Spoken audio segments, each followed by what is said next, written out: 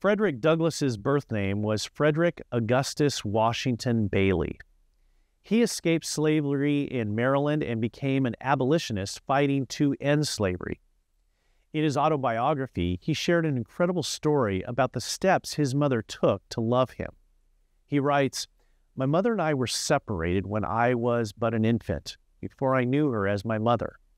It is a common custom in the part of Maryland from which I ran away to part children from their mothers at a very early age.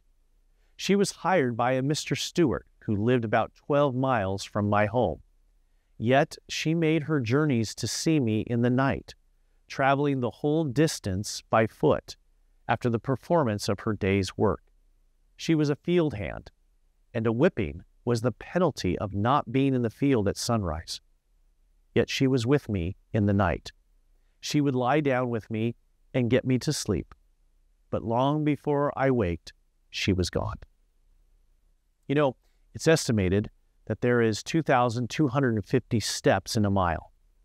That means that Frederick Douglass's mother took 54,000 steps round trip to be with him and then get back to work in the morning. She forfeited rest and sleep. She forfeited her own schedule. These steps after slaving all day in the tobacco fields.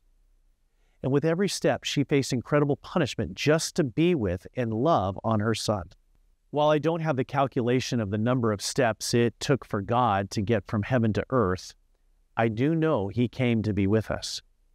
Jesus took every step to the cross, where he received the penalty for being identified with our sins.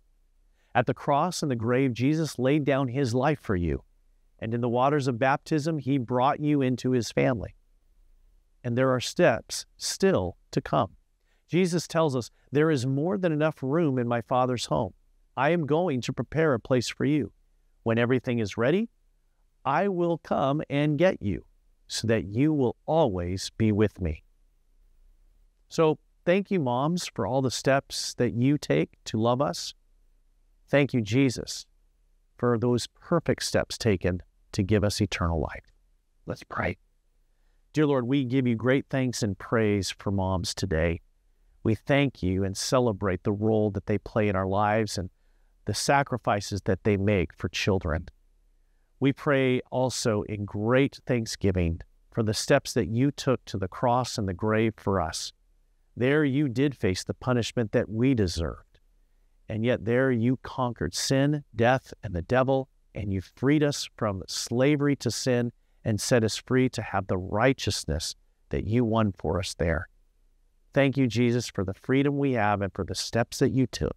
In Jesus' name we pray. Amen.